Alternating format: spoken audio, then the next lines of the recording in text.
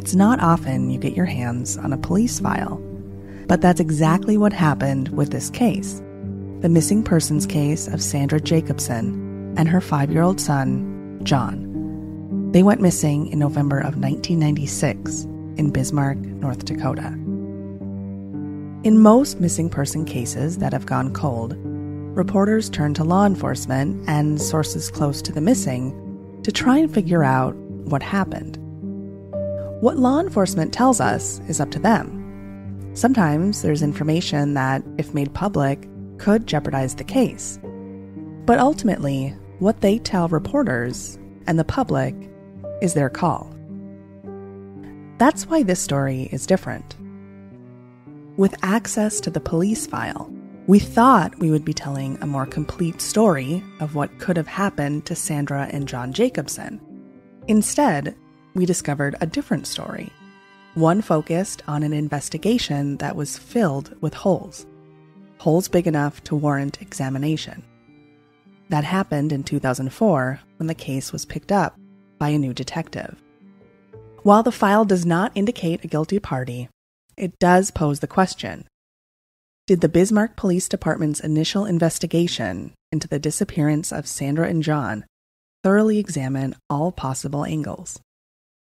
In this series, we'll look at the initial investigation, the questions that went unanswered, potential suspects that were cut loose, and key evidence that went unexamined.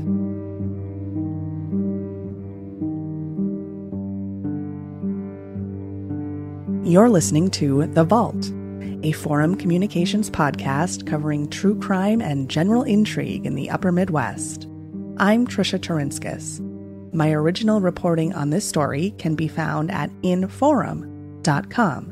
Just look for the Vault section.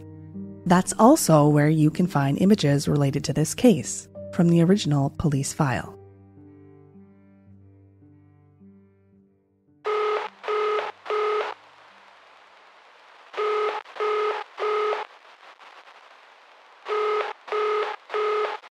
Sergeant William Connor's phone rang on the afternoon of June 2, 2004.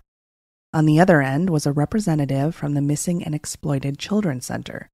They believed they may have had a hit, a clue, on a 1996 missing persons case from his area.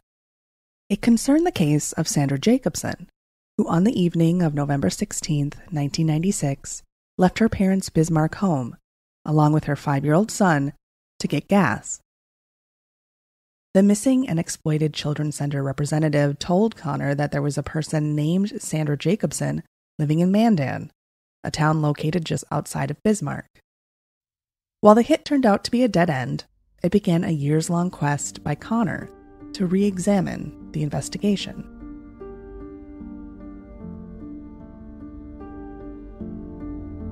Here's the story.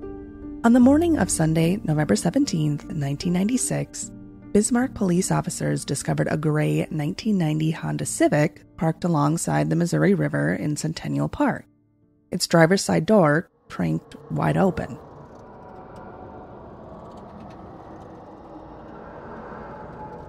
With high winds and temperatures well below freezing, an open door was assigned to law enforcement officers that something wasn't quite right.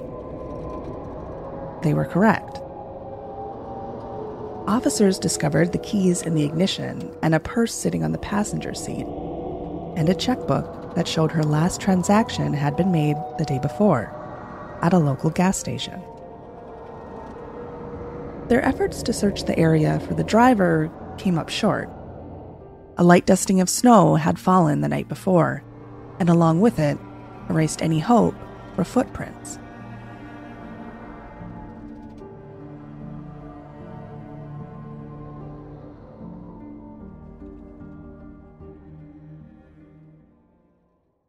Detective Tim Turnbull walked in the doors of the Bismarck Police Department on the morning of Monday, November 18th, and was greeted with a missing persons report that had been filed over the weekend.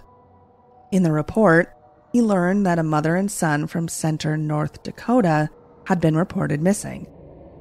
Bernice Grensteiner, Sandra's mother, had told the Bismarck Police Department that her daughter was having mental health issues when she left the evening of November 16th to run out for gas. She hadn't heard from her daughter or grandson since. There was something else in the report that stood out to Turnbull. A woman who identified herself as Sandra Jacobson had called the Bismarck Police Department hours before she went missing. She claimed a loved one was in danger at the hands of a satanic cult. That set off a train of thought for Turnbull, who assumed a distraught and mentally ill woman had snapped, leading her down a dark path that ended in the frigid waters of the Missouri River, her five year old boy in tow. Right away that morning, he called up the Burleigh County Sheriff's Office and asked them to start searching the river. The investigation into the disappearance, led by Turnbull, had officially begun.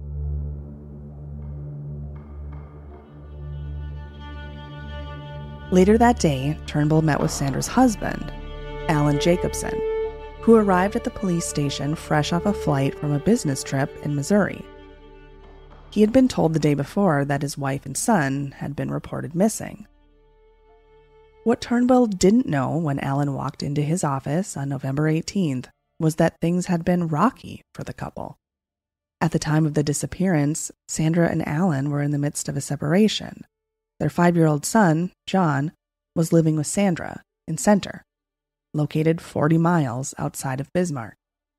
In multiple interviews conducted by investigators throughout the years, her parents, relatives, and close friends said Sandra believed she was days away from a divorce when she went missing, a process she claimed was being handled by her soon to be ex husband, Alan.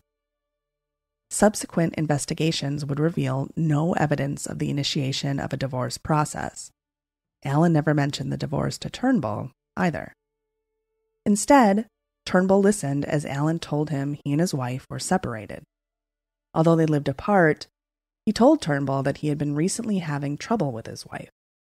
He said it was fueled by what he referred to as conspiracy theories that he was having affairs. According to the police file, he claimed those allegations were totally off the wall.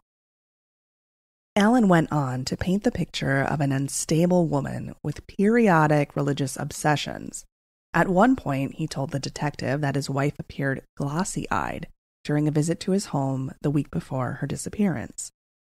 Here's what Turnbull wrote in the report. He stated she got real excited and was shaking and tried to get up and leave, and he grabbed her and sat her down and stayed with her until she calmed down. Alan told the detective his wife called him at around 6:15 in the morning on November 16th, the last day she was heard from, and told him to pray for their son. Specifically, he said she requested he recite the Lord's Prayer.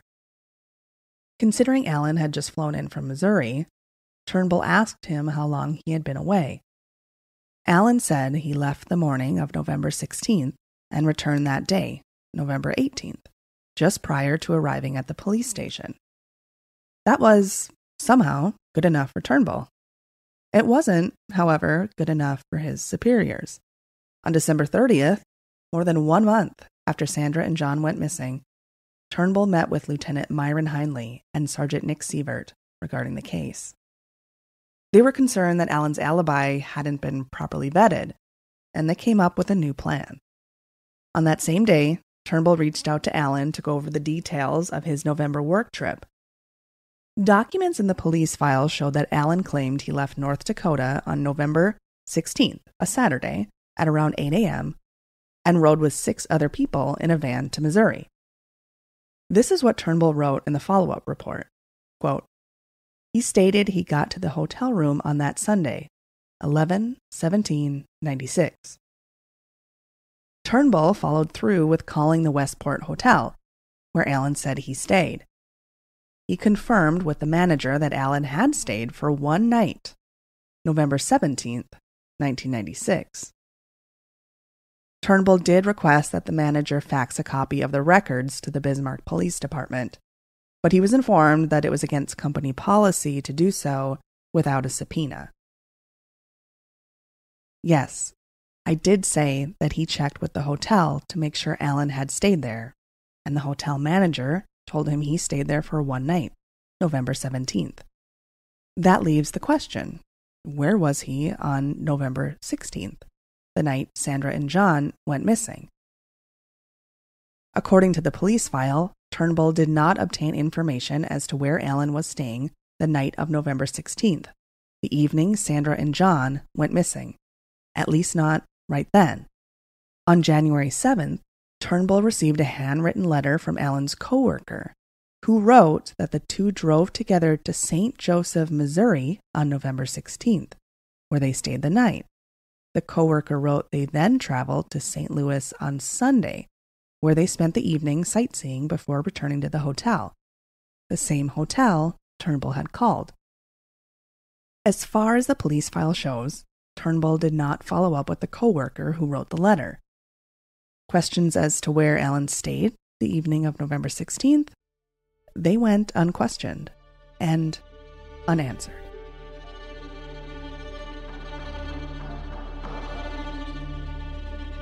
On the day Sandra's car was discovered, it was taken to the Bismarck Police Department for documentation. Yet, with no foul play suspected, the vehicle was not fingerprinted.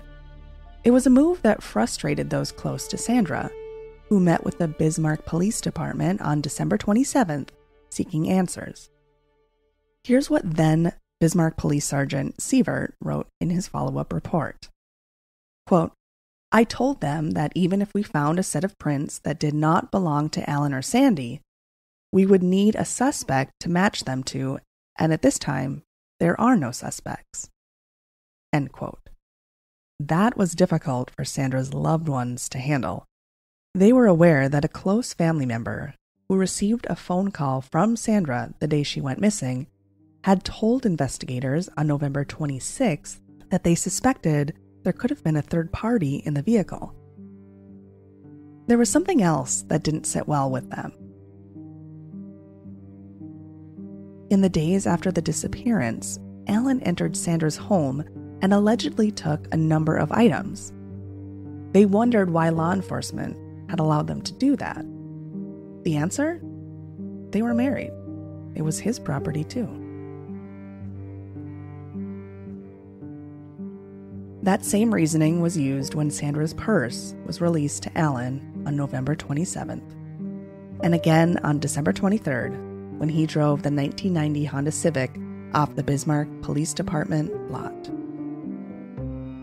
Interviews with those close to Sandra continued to be conducted in the months following her disappearance, but investigators focused heavily on searching the Missouri River the North Dakota National Guard was called in multiple times to search from the skies, while dive teams did their best to navigate the frigid waters. A child's shoe was found near the river in Centennial Park on May 20th, 1997. That gave investigators hope that it could belong to John. Alan told Turnbull at the time that he believed the shoe could belong to his son. But John's older brother and grandmother adamantly said the shoe wasn't his. It was far too large. In the spring of 1997, with the water opening up, Turnbull made efforts through local media to alert boaters to be on the lookout, specifically for anything that could point them to the discovery of Sandra and John. Ultimately, nothing turned up. More than 25 years later, nothing still has. Throughout the years, investigators received phone calls from those claiming to have seen the mother and son. All leads were thoroughly investigated. In the end, they all amounted to cases of mistaken identity. On February 23, 1999, Turnbull declared the case inactive. There are no further leads in this case, he wrote in his report. The case will be filed until something further comes up.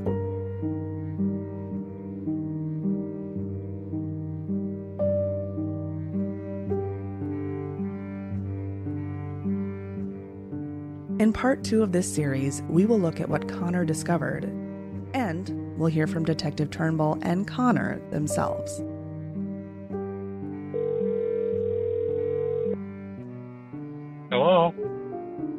Hi, is this Tim Turnbull? Speaking.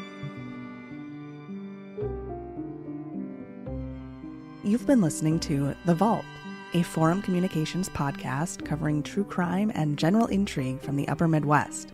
Unlock more cold cases and crimes from the past at inforum.news slash try. Get your first three months of unlimited access to our entire news network for only 99 cents a month. Visit inforum.news slash try to take advantage of this deal. Forum Communications is proud to be part of the Trust Project. Learn more at thetrustproject.org.